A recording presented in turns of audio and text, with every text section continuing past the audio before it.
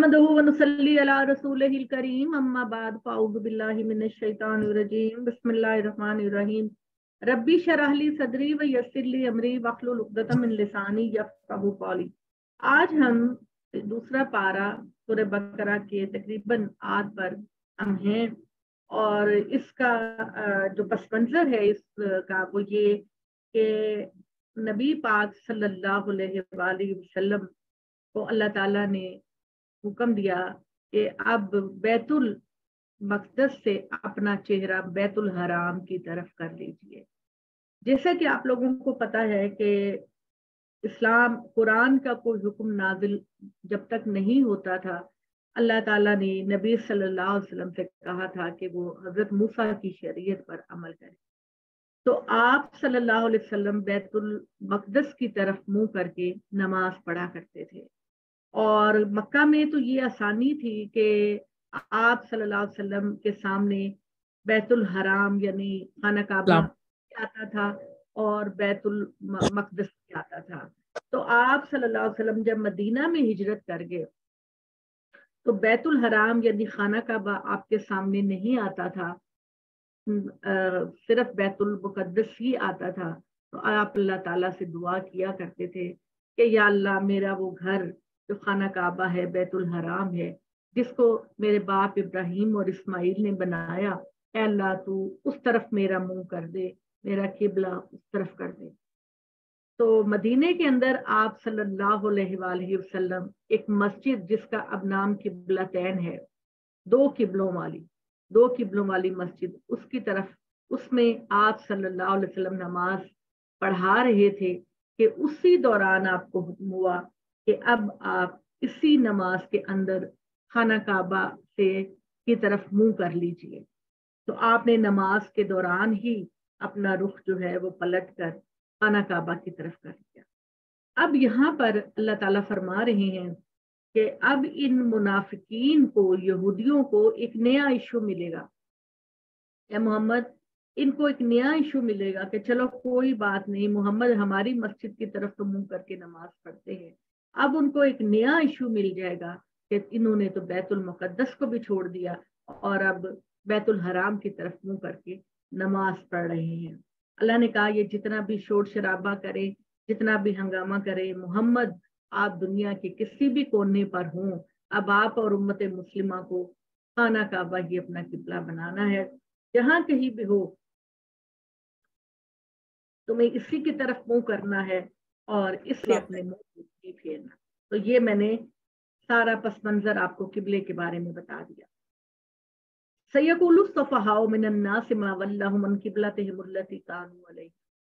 बेवकूफ़ कहेंगे सफीहा की जमा सुफहा। ये बेवकूफ़ कहेंगे कि किसने इनके किबले से मोहम्मद का मुँह मोड़ दिया जिस पर वो मुसलमान और वो मुँह करके नमाज़ पढ़ा करते थे?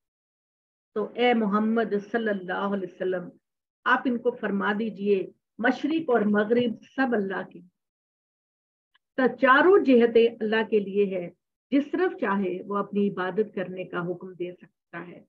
तो अल्लाह ताला कहते हैं, मशरक और मगरिब अल्लाह ही के लिए है, वो जिसको चाहता है सीधा रास्ता दिखा देता है, और इस तरह हमने तुमको एक बीच की उम्मत बनाया, ताकि तुम लोगों पर गवाही देने वालों बनो। और रसूल सल्लल्लाहु अलैहि वसल्लम आप पर गवाही देने वाले यानी सहाबा कराम, मोहम्मद अलैहि वसल्लम सहाबा कराम को खुदा का दीन पहुंचाएँ और सहाबा कराम आगे पूरी दुनिया और उम्मत मुस्लिमा को अल्लाह का पैगाम पहुँचाए।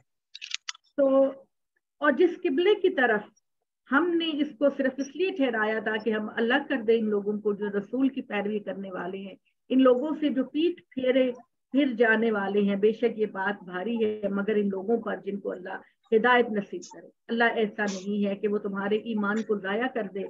अल्लाह तो लोगों के साथ बड़ा मेहरबान और रहम फरमाने वाला है। हम आसमान की तरफ़ तुम्हारे रुख की गर्दिश देखते रहे हैं। मोहम्मद वसल्लम जब मदीना तशरीफ़ ले गए तो आप बार बार आसमान की तरफ़ देखा करते थे कि अल्लाह मियाँ, अब मुझे हुक्म देते हैं, अब मुझे हुक्म देते हैं कि मैं खाना काबा को अपना किबला बना लूँ। तो अल्लाह ताला ने ये बात कही, हम आसमान की तरफ़ तुम्हारे रुख की गर्दिश देखते रहे हैं। तो हमने फैसला किया कि हम तुम्हें इस किबले की तरफ़ फेर दें जिसको तुम पसंद करते हो। चुनाचे तुम अपना रुख मस्जिद हराम की तरफ़ कर लो। और जहाँ कहीं भी हो तुम अपना रुख इसी की तरफ़ करो। और जिन लोगों को किताब मिली वो जानते हैं कि यही इनके रब की जानब से हक है। और जो कुछ वो कर रहे हैं, अल्लाह उससे बेखबर नहीं। और अगर तुम अहले किताब के सामने हर किस्म की निशानियाँ भी पेश करो तो भी ये तुम्हारे किबले की पैरवी नहीं करे। ये अहले किताब की बात है। ना तुम अब इनके किबले की पैरवी करने वाले बन सकते हो और ना ही वो एक दूसरे के किबले की पैरवी कर एक दूसरे से क्या मुराद है? मोहम्मद है मुसलमानों ना तुम उनके किबले की पैरवी करते हो ना वो दोनों एक दूसरे के किबले की पैरवी। क्या मतलब है इस बात? यहूदो नसारा? जी ये उस वक्त मदीना बैतुल मकदस में काबे की तरफ़ मुँह करते थे ना तो ये बनी इसराइल का भी वही काबा था। तो ये यहाँ पर अल्लाह ताला ने कहा कि बनी इसराइल के अंदर यहूदो नसारा है और वो एक किबले के होते हुए भी सिमतें मुख्तलिफ़ रखते हैं। यानी जो क्रिश्चियन जो क्रिश्चियन है नसारा है वो मशरक की साइड को अपनी साइड मानते हैं और जो जूस हैं, वो मगरब की साइड को अपनी मगरिब के मानते हैं। तो लिहाजा ये तो खुद इख्तलाफ में पड़े हैं, चुनाचे मोहम्मद सल्लल्लाहु अलैहि वसल्लम, आप अपने किबले ही की पैरवी कीजिए, इनकी ख्वाहिशों की पैरवी करेंगे तो आप भी जालिमों में से हो जाएँगे। जिनको हमने किताब बनाई थी, वो उसको पहचानते हैं, जैसे कि अपने बेटों को पहचानते हैं। ये अल्लाह ने कहा कि मोहम्मद को पहचानते हैं, किबले को पहचानते हैं। अलबत् एक ग्रोह है जो जानते बूझते हक को छुपाता है। यही हक है तुम्हारे रब की जानब से तो तुम शक करने वाले ना बनो। हर एक के लिए एक सिमत है वो उसी की तरफ़ रुख करने वाला है। ये माइक माइक्रोफोन अनम्यूट कर। तुम नेकियों में सबकत ले जाओ और जहाँ कहीं भी होगे अल्लाह तुम्हें जमा करेगा। बेशक अल्लाह ताला हर चीज़ पर कादिर और हिकमत वाला है। और जहाँ कहीं भी तुम निकलो अपना रुख मस्जिद हराम की तरफ़ करो।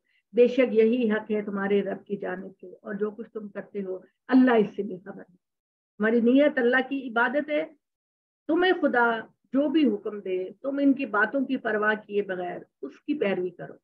जहाँ कहीं भी तुम निकलोगे, अपना रुख मस्जिद हराम की तरफ़ करो, और जहाँ कहीं भी तुम हो, अपने रुख को की जानब करो, ताकि लोगों के लिए तुम्हारे खिलाफ कोई बात करने की हुज्जत ना रहे, और जो इनमें से जालिम है, इनसे न डरो, मुझसे डरो। ताकि मैं अपनी नेमत तुम पर तमाम करूँ और तुमको राह याद करूँ। सुनाचे हमने तुमको एक रसूल भेजा, तुम में से जो तुम्हारी तुम्हारी, तुम्हें हमारी आयतें पढ़कर सुनाता है, तुम्हें पाक करता है, तुम्हें किताबों, हिकमत की तालीम देता है और तुम्हें इन चीज़ों की तालीम देता है जो तुम नहीं जान यानी ये इन्हीं अल्फाज के अंदर आपने पहले पढ़ा कि हज़रत इब्राहिम ने दुआ की कि या इस्माइल की औलाद के अंदर एक नबी भेजना। जो तेरी शरीयत की अहकाम इनको पढ़कर सुनाए तो अब अल्लाह ने कहा, आयत नंबर, कमा फीकुम रसूलन मिनकुम यतलु अलैकुम आयातिना किताब अवल। इसी तरह हमने तुम में एक रसूल भेजा। अल्फाज भी वही, फेल भी वही, जो हज़रत इब्राहिम की दुआ थी उसमें।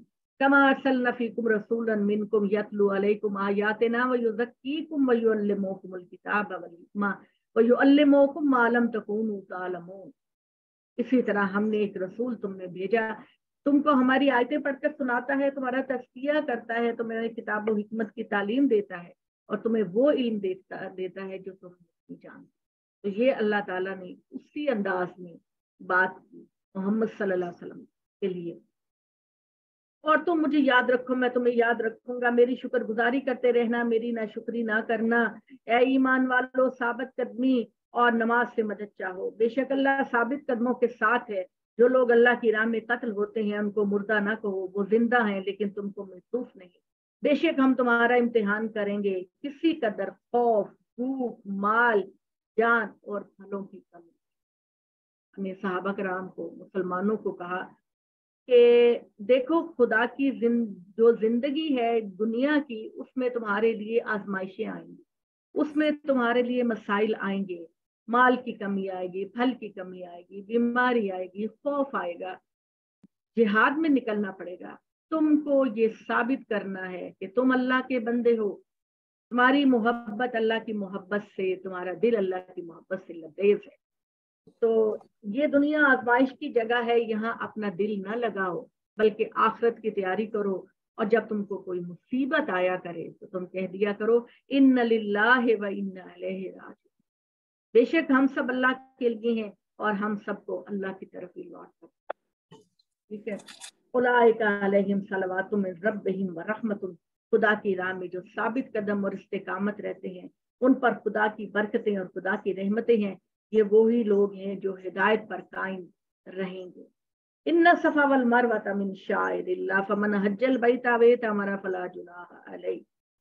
सफ़ा और मरवा अल्लाह की निशानियों में से है। तो जो कोई बैतुल्ला का हज करे या उमरा करे, उसके लिए कोई हरज की बात नहीं। ये तवफा बेहमा, के वो इन दोनों का तवाफ भी कर ले। और जो कोई मजीद नेकी करेगा तो याद रखो कि तुम जो भी नेकी करोगे, अल्लाह तुम्हारे शुक्र को कबूल करने वाला और इल्म वाला है। यानी यहाँ मैं ब्रीफली आपको ये बता दूँ। नसफावल मरवता मिन शायरिल्ला ये सही जो है, ये इस तहकीक इस बात पर पहुँची है कि ये हज़रत हाजरा की जो सही है वो वाली नहीं। ये हज़रत इब्राहिम सलाम सफ़ा और मरवा के दरमियान चक्कर लगाए थे, भागे थे कि मैं इस्माइल की कुर्बानी दोनों पहाड़ियों में से किस पहाड़ी पर कर? अब तो वो पहाड़ियाँ बिल्कुल एक लेवल की हो गई ना थोड़ा थोड़ा पहाड़ का हिस्सा नज़र आता है, ऊपर सबसे टॉप स्टोरी पे। लेकिन उससे पहले जब हज़रत इब्राहिम ने हज़रत इस्माइल और हज़रत हाजरा को यहाँ पर आबाद किया तो उन्होंने सफ़ा और मरवा दोनों पहाड़ियों के चक्कर लगाए, इसलिए कि वो देखें कि दो पहाड़ियों में से कौन सी पहाड़ी पर मैं ले जाकर इस्माइल की कुर्बानी करूँ? ये आप में से बहुत सारे लोगों के लिए ये एक अजनबी बात होगी। लेकिन बात ये है कि इल्म को खंगालते रहना चाहिए, देखते रहना चाहिए। ये जो अहले किताब थे, जब से दुनिया बनी, जब से दुनिया बनी, हज़रत आदम सलाम के बेटों से ये स्टार्ट होता है। कि उनकी जब कोई कुर्बानी देनी होती थी, इन्होंने कोई कुर्बानी बनी इसराइल ने देनी होती थी, वो किसी ऊँची पहाड़ी का इंतखाब करते थे। ऊँची पहाड़ी पर ले जाकर कुर्बानी करते थे तो आसमान से उनकी कुर्बानी को कबूल करने के लिए आग आती थी। यही वजह है कि जब हज़रत आदम सलाम के दो बेटों ने हाबील और काबील अपना अपना नजराना लेकर आए कुर्बानी के लिए यानी कुरान में, कुरान मजीद में इसका ज़िक्र है। हाबील और काबील अपना नजराना लेकर आए अल्लाह की राह में कुर्बानी के लिए। तो जो हाबील है, वो एक बछड़े को या एक बकरे को लेकर आए और उसको, उस पहाड़ी के ऊपर जिबा करके डाला। और जो काबिल था, वो खेती बाड़ी करता था, किसान था, वो अपने खेत की सब्ज़ियाँ और फल लेकर आया। लेकिन उसके दिल के अंदर रंजिश, गम और हसद हाबील के बारे में बहुत ज़्यादा था तो उसने जब देखा कि हाबील की कुर्बानी कबूल कर ली गई है आसमान से, उसको लेने के लिए आग आई है तो बजाय ये वो अल्लाह की तरफ़ रजू करता, माफ़ी माँगता, उसने अपने भाई हाबील को कत्ल कर ठीक है, उसको कहा कि मैं तुझे मार दूँगा, उसने कहा, बेशक मुझे मार दे, लेकिन मैं सिलाए रहमी को निभाते हुए मैं तुम्हारी तरफ़ अपना हाथ नहीं बढ़ाऊँगा। लिहाजा हाबील ने हसद के मारे काबिल को कत्ल तो कहने का ये मतलब है कि हसद आपको कुछ भी नहीं देगा आप अल्लाह से मांगे, अल्लाह आपकी झोलियों को भरे और दूसरी बात ये कि ये तवाफ जो सही करते हैं हम सफ़ा और मरवा के दरमियान, ये हज़रत इब्राहिम की सुन्नत है, जिस पर हम अमल करते तो अल्लाह ताला ने कहा, बेशक जो लोग छुपाते हैं, हमारी आयतें उतारी हुई खुली खुली निशानियाँ और हमारी हिदायत को बाद इसके कि वो किताब में खोल कर लोगों के सामने बयान कर दी गई हैं तो वही लोग हैं जिन पर अल्लाह लानत करता है और जिन पर लानत करने वाले लानत करें। अलबत्ता जिन लोगों ने तोबा की, इसलाह कर ली, वाज तौर पर बयान किया, इनकी तोबा कबूल करूँगा और मैं बड़ा तोबा कबूल करने वाला और रहम फरमाने वाला हूँ। बेशक जिन लोगों ने कुफ्र किया, इसी कुफ्र की हालत में मर गए, इन पर अल्लाह की फरिश्तों की, लोगों की सबकी लानत। दुआ कीजिए। हर रोज मैं आपके लिए दुआ करती हूँ। अपने लिए भी दुआ करती हूँ, या अल्लाह ईमान की हालत में इस दुनिया से लेकर या अल्लाह इस्लाम और पाकिस्तानी की हालत में इस दुनिया से लेकर जाना। या अल्लाह कोई गंदा काम करते हुए, जुल्म करते हुए हम इस दुनिया से न जाए। अल्लाह ने कहा कि जो काफिर होंगे, उन पर खुदा की लानत, फरिश्तों की लानत, तमाम लोगों की लानत होगी। इसमें वो हमेशा हमेशा रहेंगे। ला उन पर खुदा का अजाब ना कम किया जाएगा ना उनको मोहब्बत दी जाएगी। अल्लाह ने कहा तुम्हारा मबूद एक ही है। मबूद क्या होता सिर्फ़ हाथ हाथ खड़ा करें। मबूद क्या होता जिसकी पूजा की जाए। इबादत की जाए। आपसे इसकी इबादत करें वही मबूद है ना? उसको कहते हैं। तुम्हारा मबूद एक ही मबूद है। अल्लाह के सिवा कोई मबूद नहीं वो रहमान और रहीम है। रहमान का मतलब इंतहाई रहम करने वाला, जिसकी रहम की कोई हद नहीं। और रहीम का मतलब ये बैलेंस कर रहा है इस सिफ्त को कि जो हमेशा रहम करता है। यानी ये नहीं है कि एक दफ़ा रहमत की बौछार कर दी और फिर अपने लोगों को भूल गया। अल्लाह ताला हमेशा रहम करने वाले और इंतहाई रहम करने वाले। बेशक आसमान और ज़मीन की तामीर, रात और दिन के आना जाना और इन कश्तियों में जो लोगों के लिए समंदर में नफा बख्श सामान लेकर चलती हैं, इस पानी में जो अल्लाह ने बादलों से उतारा और जिससे ज़मीन को इसकी मौत के बाद ज़िंदगी बख्शी और जिससे इसमें हर किस्म के जानदार फैलाए। हवाओं की गर्दिश में और इन बादलों में जो आसमान और ज़मीन के दरमियान है, इन लोगों के लिए बहुत सारी निशानियाँ हैं जो अकल से काम लेने वाले लोगों में ऐसे भी होते हैं जो खुदा के शरीक ठहराते हैं, जिनमें इसी तरह जिनसे वो इसी तरह मोहब्बत करते हैं, जिस तरह अल्लाह से मोहब्बत की जाती वो उसी तरह मोहब्बत कर, लेकिन ये जो खुदा पर ईमान रखते हैं, वो सबसे ज़्यादा खुदा से मोहब्बत रखते हैं। और अगर ये अपनी जानों पर जुल्म ढाने वाले इस वक्त तो देख सकते जब ये अजाब से दो चार होंगे तो उन पर यह हकीकत अच्छी तरह वाजे हो जाएगी कि सारा ज़ोर सारा इख्तियार अल्लाह के अल्लाह बड़ी सख्त सजा देने वाला है। रहम करना है जिन पर, उन पर छाजो रहमतें करता है, लेकिन जो गुनाहगार होते हैं, अल्लाह उन पर सख्त सजा देता है। इस वक्त का ख्याल करो, जब क्यामत बर्पा होगी, पैरवी करने वाले अपने मुर्शिदों से कहेंगे इस इजहार बरात करेंगे और आज़ाद से दो चार होने वाले होंगे और इनके ताल्लुकात यानी जिसका हमने गलत पैरवी की, जिसके गलत रास्ते पर चला, क्यामत वाले दिन उनका कोई ताल्लुक आपस में नहीं होगा। तू तुकार कर रहे होंगे, एक दूसरे के ऊपर लानत मुलामत कर रहे होंगे और कहेंगे कि हमारी आखरत को तुमने बर्बाद किया। इनके पैरों भी कहेंगे, काश हम दुनिया में एक बार जाना और नसीब हो कि हम भी इस तरह इजहार बरात कर सकें, जिस तरह इन्होंने हमसे ला ताल्लुकी का इजहार किया। इस तरह अल्लाह इनके अमाल को इनके लिए हसरत बता देगा और इनको दोजक की आग से निकलना नसीब नहीं होगा। ए लोगों, ज़मीन की चीज़ों में जो हलाल और तैयब है, इनको खाओ और शैतान के नक्शे कदम की पैरवी ना करो। बेशक वो तुम्हारा खुला हुआ दुश्मन है तो वो तो बस तुम्हें बुराई और बेहजाई की राह सुझाएगा और इस बात की तुम खुदा की तरफ़ वो बातें मनसूब करो जिनके बारे में तुम्हें कोई इल्म नहीं। और जब इनको दावत दी जाती है कि खुदा की उतारी हुई चीज़ों की पैरवी करो तो वो जवाब देते हैं कि हम तो इस तरीके की पैरवी करेंगे जिस पर हमने अपने बाप दादा को पाया। क्या इस सूरत में भी जबकि इनके बाप दादा ना कुछ समझते हों और ना राह हिदायत पर हो? इन काफरों की मिसाल ऐसी है जैसे कोई शख्स इस चीज़ को पुकारे जो दूर से सुनाई दे और जिसकी कोई समझ नहीं। जो बक, जो मज़ारों की पैरवी करते हैं जो दरख्तों की पैरवी करते हैं। जो बुतों की पैरवी करते हैं। तुम ऐसी पुकार पुकारते हो उनको कि जिसका जवाब देने वाला तुम्हें कोई नहीं? अल्लाह को पुकार। कभी आजमा कर तो देखो अपने मुश्किलों में अल्लाह को पुकार कर तो देखो। तो हो सकता है अल्लाह थोड़ी बहुत आजमाइश करे, उस मामले को थोड़ा प्रोलॉन्ग कर दे, लेकिन खुदा जब देता है अपनी आजमाइश के बाद, अल्लाह जब देता है तो छप्पड़ फाड़ कर देता इसको ज़िंदगी में आजमाइए। इससे पहले कि हमारी आखरतें खराब हो जाएँ, बर्बाद हो जाएँ, हम अल्लाह की तरफ़ क्यों ना अपना ताल्लुक बना लें, रजू करें। क्या इस सूरत में भी जब इनके बाप दादा ना कुछ समझते हैं, वो कहते हैं कि हम अपने बाप दादा की पैरवी करेंगे। क्या इस सूरत में भी जब इनके बाप दादा ना कुछ समझते होंगे, ना हिदायत पर रहे होंगे, इन काफरों की मिसाल ऐसी है, जैसे कोई शख्स चीज़ों को पुकारे और आवाज़ के सिवा कुछ सुनाई न दे। ये बहरे, गुंगे, अंधे हैं, इनको समझ क्यों नहीं आता? दलाइल पूरी कायनात के खुदा के वजूद से भरे हुए क्यों नहीं इनको समझ आता कि हम इंसानों और पत्थरों की तकलीफ़ नहीं हमें इस कायनात के सबसे बड़े बादशाह ने पैदा किया।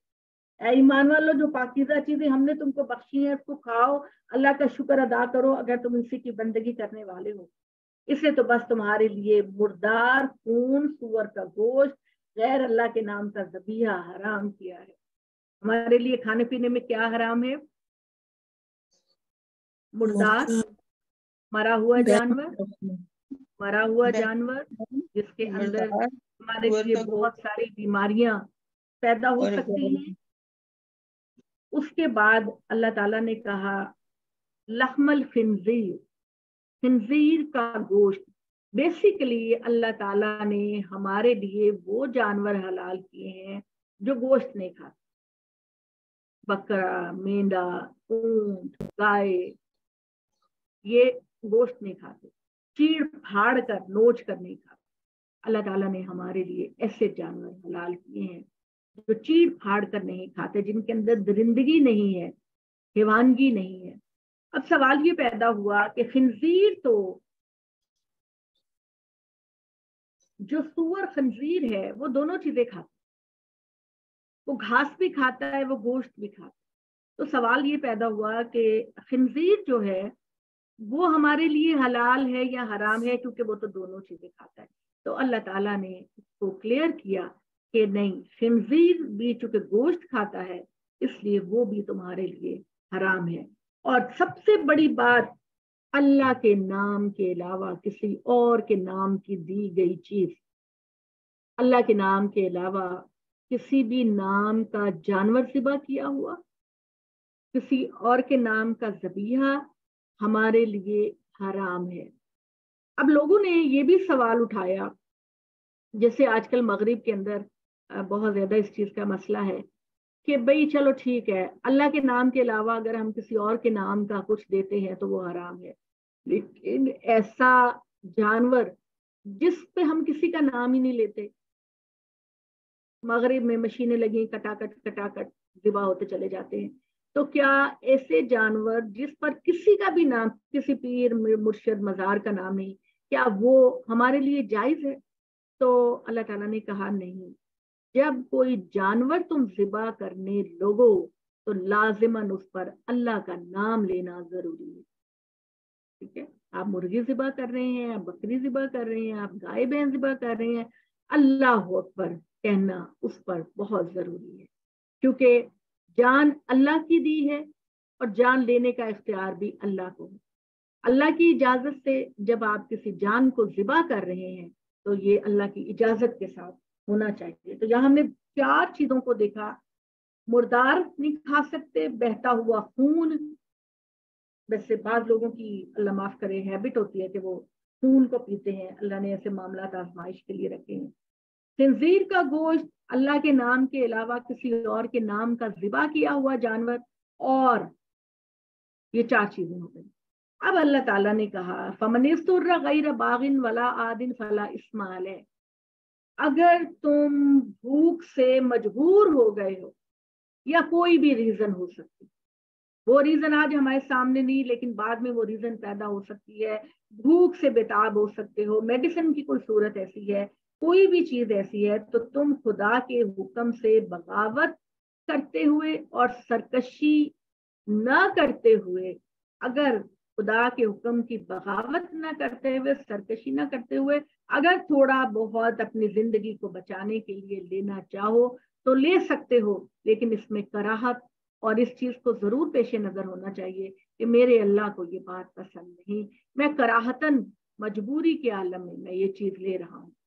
इन अल्लाह गफूर आपके आजकल क्योंकि बच्चों का बड़ा ट्रेंड है दूसरे मुल्कों में जाने का तो अपने बच्चों को ज़रूर ये अल्लाह का हुक्म बताया करें।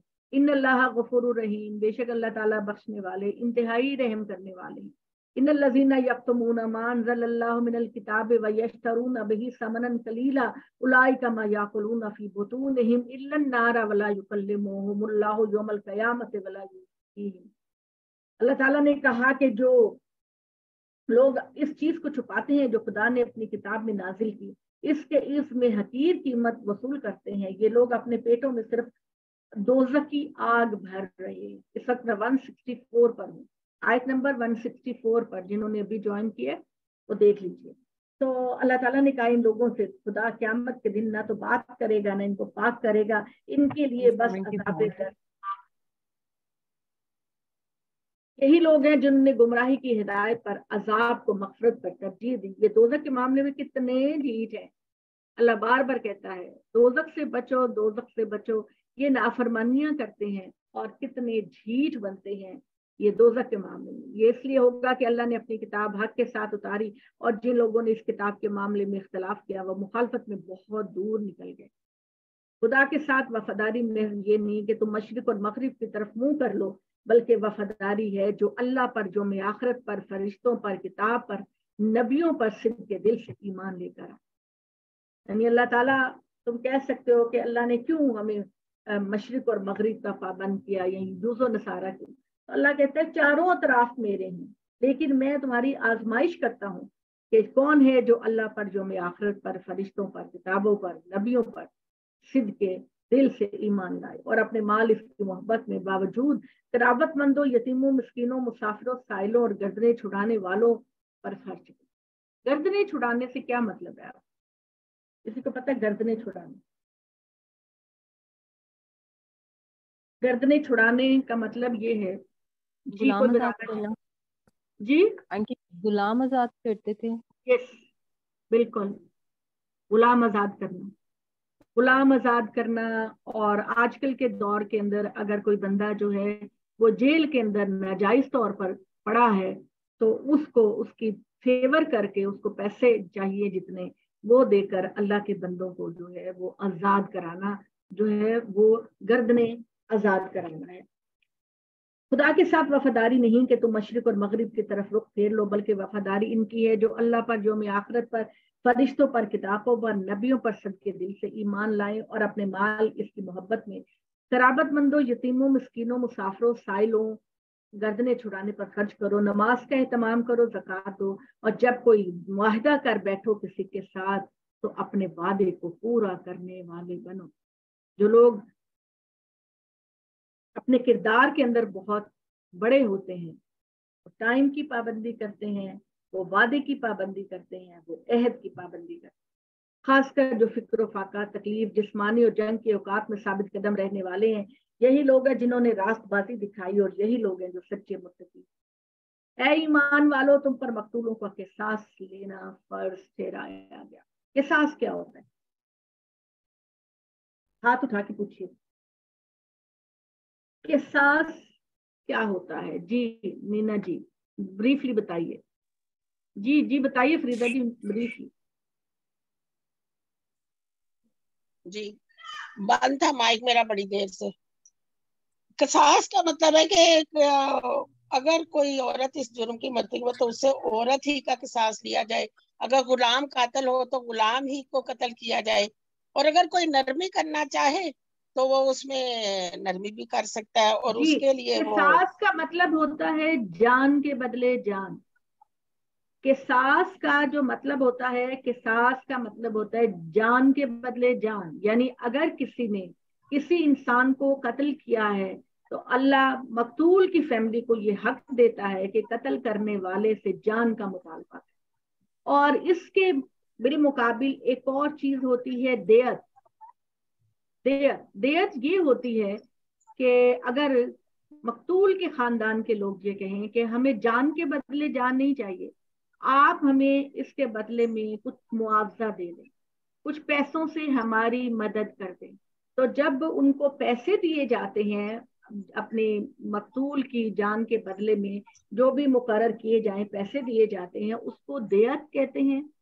वो पैसा भी हो सकता है, वो कोई अनाज भी हो सकता है, वो कोई भी ज़रूरत की चीज़ हो सकती है। और हमें पता चला कि कत्ल के बिल मुकाबिल दो चीज़ें हैं, एक के सास है और दूसरा ताउन है।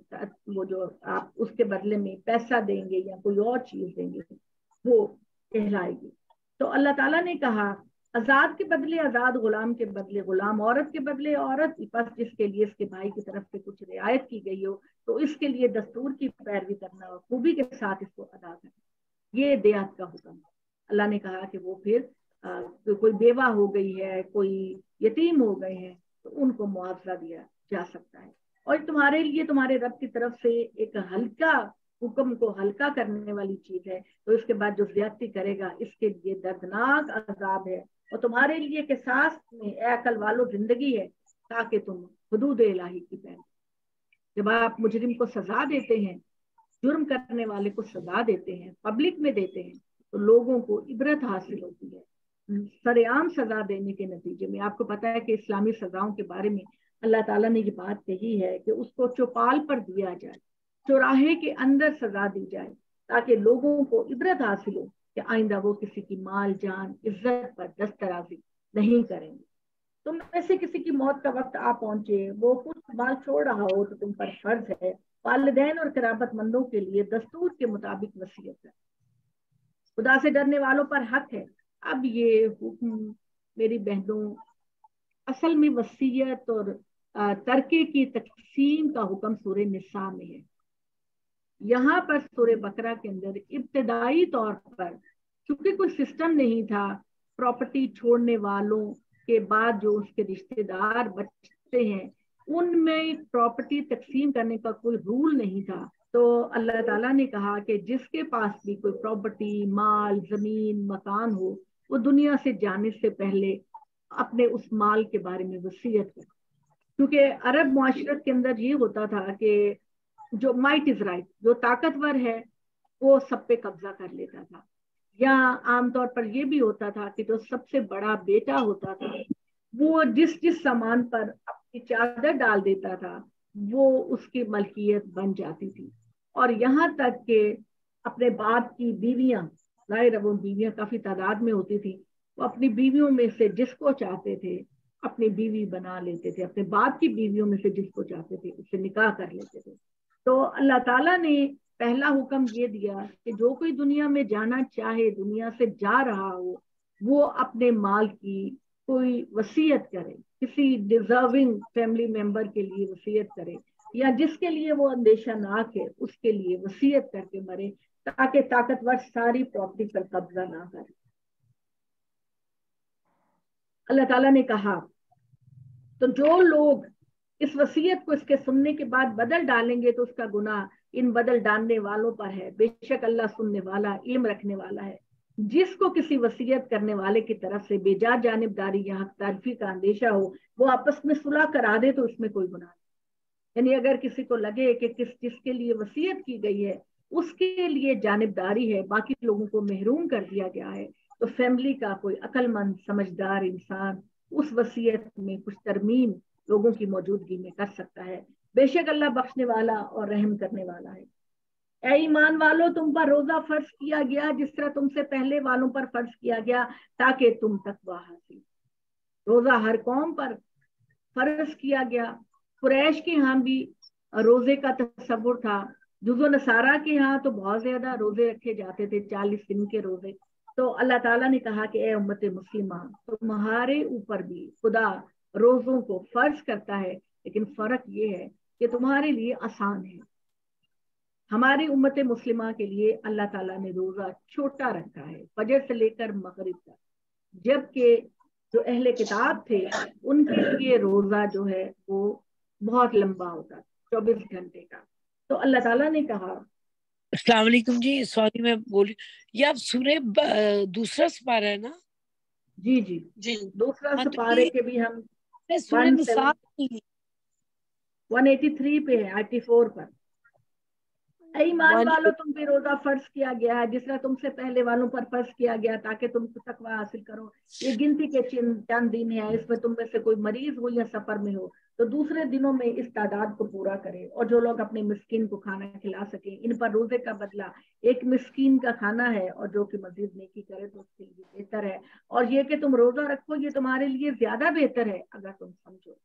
रमज़ान का महीना है जिसमें कुरान उतारा लोगों के लिए हिदायत बनाकर और हक बातिल के दरमियान इम्तियाज़ करने के खुले दलाइल के साथ। तो जो कोई तुम में से इस महीने में मौजूद हो, वो इसके रोज़े रखे और जो बीमार या सफ़र हो तो दूसरे दिनों में इस गिनती को पूरा करे। अल्लाह तुम्हारे लिए आसानी चाहता था। अच्छा अब ये बात, अल्लाह तुम्हारे लिए आसानी चाहता है, तंगी नहीं चाहता और चाहता है कि तुम तादाद को पूरा करो। अल्लाह ने जो तुमको हिदायत दी है, इसकी बड़ाई बयान करो ताकि तुम अल्लाह के शुक्रगुजार बंदे बने तो पहला हुक्म अल्लाह ताला ने ये दिया था कि अगर कोई बीमार हो जाए, या कोई सफ़र में हो, और या वो रोजा छोड़ रहा हो तो अपने हिस्से का रोजा किसी और को रखवा दे। किसी मिस्कीन जरूरतमंद को खाना खिला दे। लेकिन अब अल्लाह ताला ने बाद में ये हुक्म दिया कि अपनी गिनती को पूरा करो। अपनी गिनती को पूरा करो। तुम्हारे लिए ये फ़र्ज़ है, जितने रोज़े छूट गए बाकी दिनों के अंदर उन रोजों को पूरा करो। और जो अब मेरे बंदे तुमसे मेरे बारे में पूछे तो मैं करीब हूँ, मैं पुकारने वालों की पुकार का जवाब देता हूँ। जब वो मुझे पुकारते हैं तो चाहिए कि मेरे हुक्म को माने और मुझ पर ईमान रखें ताकि वो सही राह पे रहें। ये वो आयत है जो मैं बार बार आप लोगों से कहती हूँ कि अल्लाह आपसे बहुत करीब है। अल्लाह आपसे बहुत करीब है। वो कहता है मोहम्मद, वाइजा साला का इबादी अन्नी करीब ए मोहम्मद, मेरे बंदों से कह दो कि मैं उनके बहुत करीब हूँ। उजीबू दावत दाई इजादान मैं तो पुकारने वालों की पुकार का जवाब देता हूँ। ये वाली आयत है जिसका मैं आप लोगों को हमेशा रेफरेंस देती हूँ। ये वन एटी सिक्स नंबर है। अब सवाल ये पैदा हुआ कि अहले किताब बनी इसराइल के ऊपर रात, क्योंकि उनका रोजा ही बहुत लंबा होता था तो रातों में भी अपनी बीवियों के पास जाना मना। रातों में भी उनके पास अपनी बीवियों के लिए जाना ज़रूरी था और ऐसा हुआ कि कुछ मुसलमानों ने इसमें खयानत की और किसी रात में अपनी बीवियों के पास चले गए। तो अल्लाह ने कहा, जाओ, मैंने तुमको माफ़ किया। तुमने, हुक्म की खिलावर्जी की है शरीयत मूसवी में आ, ये मना है रातों को बीवी के पास जाना। लेकिन खुदा ने तुम पर रहमत की है मुसलमानों तो लिहाजा रमज़ान की रातों में अपनी बीवियों के पास जाया ठीक है? ये खुदा ने जो वादा किया था ना कि वो अल्लाह मोहम्मद सल्लल्लाहु अलैहि वसल्लम के ज़रिए दीन को आसान कर देगा पूरी दुनिया वालों के लिए तो अल्लाह ताला ने बनी इसराइल के हुक्म को मनसूख किया। और मोहम्मद सल्लल्लाहु अलैहि वसल्लम के हुक्म की शरीयत में ये रखा कि रातों के वक्त दिन को नहीं, रातों के वक्त वो अपनी बीवियों के पास जा सकते हैं। तुम्हारे लिए रोज़े की रातों में अपनी बीवियों के पास जाना जायज़ किया गया है। तुम्हारे लिए लिबास की तरह है और तुम उनके लिए लिबास की तरह है। और अल्लाह ने देखा कि तुम अपने आप से ख्यानत कर रहे थे तो उसने तुम पर अनायत की और तुमसे दरगुजर फरमाया तो अब तुम इनसे मिलो। अल्लाह ने तुम्हारे लिए जो मुकद्दर कर रखा है, इसके तालिब बनो। यानी बीवियों के पास जाओ, औलाद पैदा करना चाहते हो, औलाद पैदा करो। बीवियों के ज़रिए अल्लाह ताला ने तुम्हारी नस्ल को आगे चलाने का ज़रिया बनाया है। लिहाजा रोज से की रातों में तुम जाओ, खाओ पियो, यहाँ तक कि फजर की सफ़ेद से धारी से नुमाया हो जाए, फिर रात तक रोजा पूरा करो और जब तुम मस्जिद में इतकाफ में हो तो बीवियों से ना मिलो। अब रातों को मुसलमानों के लिए बीवियाँ जो हैं, वो इतकाफ की सूरत में हराम है। इतकाफ की सूरत में तुम्हें अल्लाह की तरफ़ गोशागीर हो जाना है। तो लिहाजा इतकाफ की रातों में बीवियों से ना मिलो, ये अल्लाह की मुकर की हुई हदें हैं। इनके पास ना फटकना, इस तरह अल्लाह अपनी आयतें लोगों के लिए वाजे करता है, ताकि वो तकवा इख्तियार आपस में एक दूसरे का माल नाजायज तरीके से ना खाओ और इसको रिश्वत का ज़रिया ना बनाओ कि इस तरीके से किसी का माल हड़प कर सको। हालाँकि तुम जानते हो कि तुम हक तलफी कर रहे हो। वो तुमसे मोहतरम महीनों के बारे में सवाल करते हैं। कह दो ये लोगों के फवायद और राज की औकात। हराम महीने हराम महीने जो होते हैं, उसका मतलब ये है कि जब मोहम्मद सल्लल्लाहु अलैहि वसल्लम का जमाना था तो कबाइली सिस्टम एक स्टेट एक एक मुल्क का तस्वुर नहीं था, एक स्टेट था। तो लोग जो है, कबीले एक दूसरे से लड़ते रहते थे, झगड़ा करते रहते थे कत्लो गारतगरी करते रहते थे। अल्लाह ताला ने इंतकाम लेते रहते थे। अल्लाह ताला ने कहा, उसके नतीजे में हज करने वाले और उम्र करने वाले को बड़े मसाइल का सामना करना पड़ता था। तो अल्लाह ताला ने कहा कि चार महीने लड़ाई झगड़ा कत्लो गारत गरी इंतकाम इसको टोटली हराम है तुम्हारे ऊपर। उनमें चार महीने कौन से हैं? रजब रजब जिकद जिलहज और मुहर्रम। मेरे साथ गिनिए कौन कौन से महीने हैं? रजब मुहर्रम। अब ज़ाहिर बात है कि अब उसे इस तरह का कोई मामला नहीं इस हुक्म की अब ज़रूरत नहीं पड़ती। तो अल्लाह ताला ने ये कहा कि भाई अब तो ज़ाहिर है कि जैसे कि हर पूरा साल लोग उम्र भी करते हैं हज के ज़माने में हज भी करते हैं। लेकिन ये जो थे वो नबी पाक सल्लल्लाहु अलैहि वसल्लम के ज़माने से उससे भी पहले ज़माने से ये सिलसिला चला आ रहा था कि कुरैश ने ये दस्तूर बनाया था कि हज और उम्र के महीनों में कोई आपस में उम्र करने वाले या हज करने वालों को नहीं रोकेगा और उनको तंग नहीं करेगा। तो अल्लाह ताला ने कहा कि, बल्कि तकवा इनका तकवा है, हदूद इलाही का एहतराम रखो, घरों में इनके दरवाजों से दाखिल हो, अल्लाह से डरते रहो, ताकि तुम फला। अल्लाह की राह में इन लोगों से जंग करो जो तुमसे जंग करें और हद से बढ़ने वाले ना बनो। बेशक अल्लाह हद से बढ़ने वालों को दोस्त नहीं रखता और इनको जहाँ कहीं तुम पाओ कत्ल करो, इनको वहाँ से निकालो जहाँ से उन्होंने तुमको निकाला है। और फितना कत्ल से बढ़कर है। यानी मक्का के लोगों ने मुसलमानों को मजबूर कर दिया है हिजरत के लिए। तो अल्लाह ताला ने फरमाया कि अब अगर जंग का मौका कभी आएगा तो तुम इनको पकड़ो और इनको मक्का से निकालो और खुद मक्का में आबाद हो जाओ। बस अगर वो तुमसे जंग छेड़े तो उनको कत्ल करो। यही काफरों का बदला है। बस अगर वो बाज आ जाए तो बेशक अल्लाह बख्शने वाला है। हर चीज़ का सोल्यूशन माफ़ी। हर चीज़ का कफारा माफ़ी। अल्लाह से माफ़ी मांगे, अल्लाह सारे गुना माफ़ कर देगा। अल्लाह ने कहा, दीन अल्लाह का हो जाए और अगर ये बाज आ जाए तो फिर इकदाम सिर्फ़ उनके खिलाफ जायज़ है, जो जालिम है। शहर हराम शहर हराम का बदला है और इस तरह दूसरे मोहतरम चीज़ों का भी किसास है। अभी इस बात का क्या मतलब है? शहर हराम शहर हराम का बदला है, क्या मतलब है? ये जिल फाजर मुहर्रम के तीन महीने हज के लिए मुख्तस थे। तो जब उम्र महीना उम्र के लिए खास किया गया तो इन चारों महीनों में जंग और कतल गरीबी ममनू थी। इसका मतलब ये है मक्का इसका मतलब ये है कि आपको हराम महीनों का ख्याल करना है आपको नहीं लड़ना झगड़ना कत्लो गारत गरी करना। लेकिन अगर कोई मुसलमानों के काफिले पर हमला कर देता है, उम्र के लिए या हज के लिए या किसी और वजह से मुसलमानों के ऊपर हमला कर देता है तो फिर अल्लाह तुमको परमिशन देता है कि तुम खुद को डिफेंड करने के लिए उनके मुकाबले में खड़े हो। ने अल्लाह ने चार महीने ये कहा, लड़ाई, झगड़ा, कत्लो गारत गरी और स्पेशल मस्जिद हराम के अंदर बैतुल्ला के अंदर तो लड़ाई, झगड़ा, गाली, गलोच करने की परमिशन नहीं। लेकिन अगर कोई दुश्मन कबीला इन हराम महीनों का एहतियात नहीं करता या उसका एहतराम नहीं करता तो फिर ए मुसलमानों, अल्लाह ताला भी तुम्हें उनको जवाब देने का हुक्म देता है। तो अल्लाह ताला ने कहा कि जो तुम पर ज्यादती करे, इसके ज्यादती के जवाब में, इसके बराबर इसको जवाब दो। अल्लाह से डरते रहो, ये यकीन रखो कि अल्लाह हदूद इलाही का एहतराम करने वालों के साथ है। अल्लाह की राह में खर्च करो, अपने आप को तबाही में ना झोंको, इन्फाक, खूबी के साथ करो। बेशक अल्लाह खूबी के साथ काम करने वालों को दोस्त रखता है। नमाज़ के बाद सबसे बड़ा हुक्म जक़ात। कदम कदम पर इस बात का ज़िक्र। अल्लाह की राह में खर्च करो। हज उम्र को अल्लाह के लिए पूरा करो। बस अगर तुम घिर जाओ तो जो हदी मुयसर हो, अपने सर न मुंडो, जहाँ तक कि हदी अपनी जगह ना पहुँचे अब ये अल्लाह ताला ने कहा कि तुम हज और उम्र की नीयत करते हो।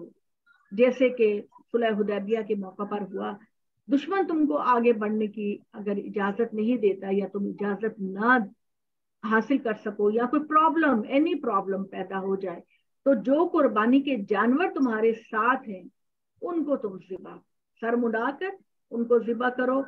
जहाँ कहीं जिस जगह भी होगे, खुदा तुमको उम्र का सवाब देगा।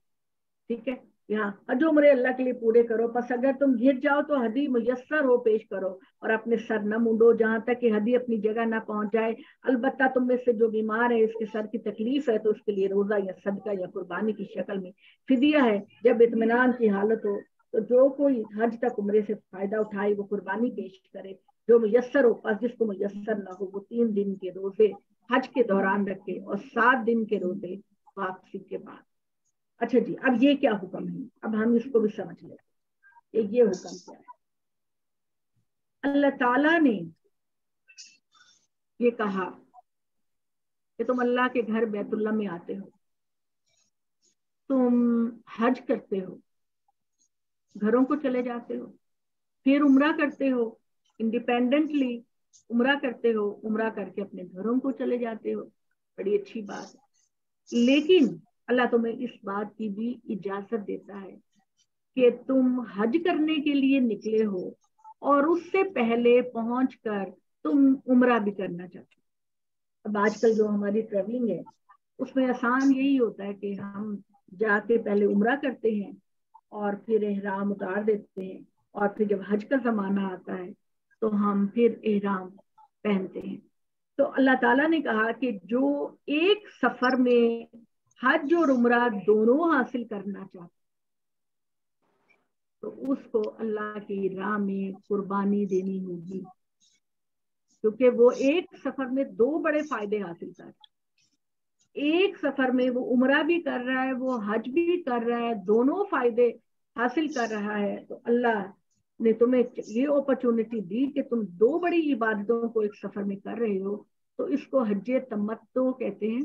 हज तमत्तो का मतलब है, जिससे फ़ायदा हासिल किया गया और उसके लिए अल्लाह ने कहा कि एक जानवर को जिबा करना होगा। आजकल हम जो जाते हैं, पहले उम्र करते हैं, फिर हम हज करते हैं तो हम ये कहते हैं कि जी, हम कुर्बानी देनी पड़ती है। हम समझते हैं कि ये कुर्बानी शायद वो वाली है जो हज़रत इब्राहिम ने की, ये वो वाली कुर्बानी नहीं ये एक सफ़र के अंदर दो इबादतें बड़ी करने का की कफारा है या फ़ायदा है इसका। तो अगर आप एक सफ़र में दो बड़ी इबादतें करने में कुर्बानी दे चुके हैं और अब आप ये कहते हैं कि हज़रत इब्राहिम के सुन्नत पर भी अमल मैंने करना है, आपको दो कुर्बानियाँ करनी है।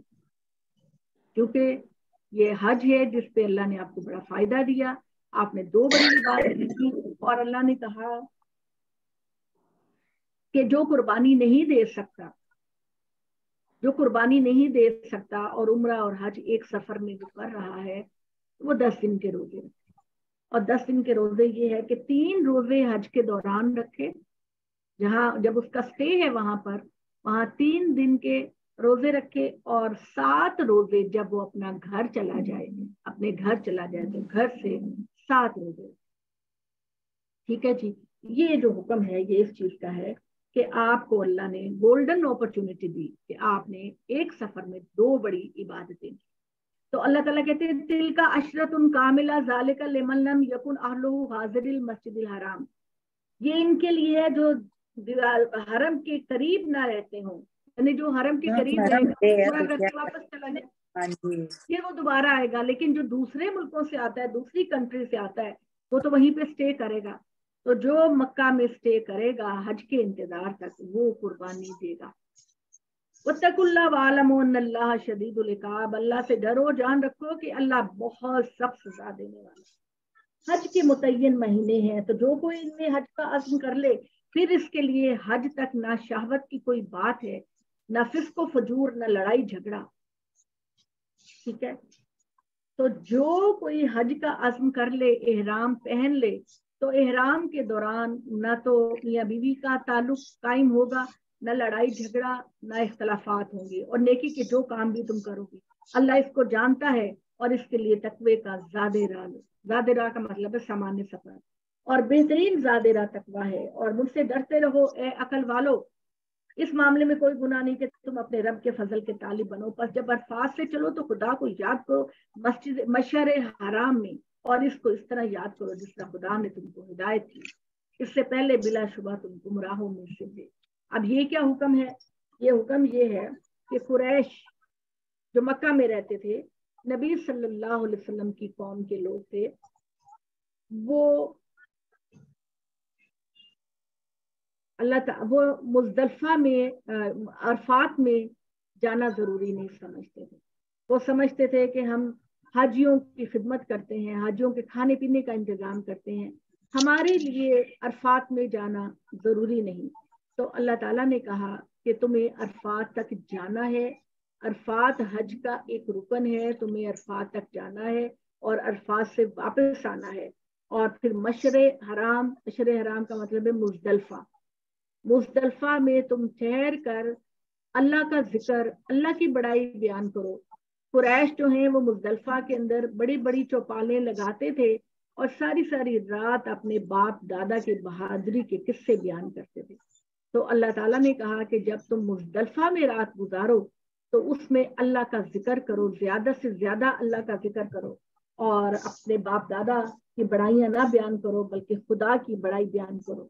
तो अल्लाह ताला ने कहा, इससे पहले तुम गुमराह थे अस्तफिर गफूर रहीम। तो तुम भी वहीं से चलो जहाँ से लोग चले। यानी अरफात जाओ। मिना मुजदलफा बाद में आएगा। मिना से अरफात अरफात से मुजदलफा मुजदलफा से फिर मिना।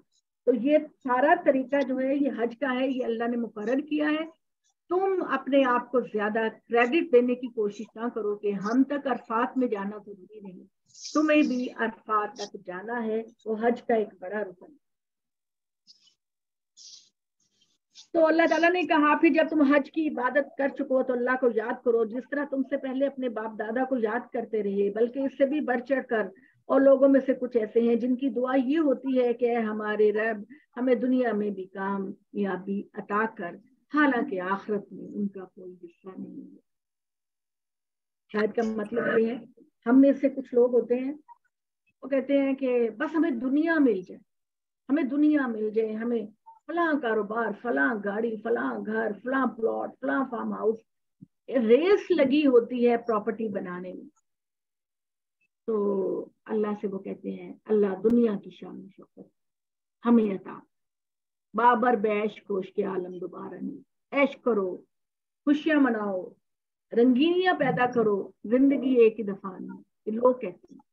आपका अल्लाह कहता है कि जो सिर्फ़ दुनिया माँगता है हम उसको दुनिया में जितना देना चाहते हैं, दे देते हैं, मगर उसका आखरत में कोई हिस्सा नहीं।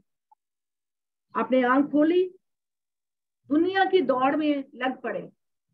रात को बिस्तर पर गए प्लानिंग की, वो कारोबार करना है, उसमें इन्वेस्ट करना है, उसके शेयर खरीदना है, फला ब्रांड का जोड़ा पहनना है, फला, बस रात को।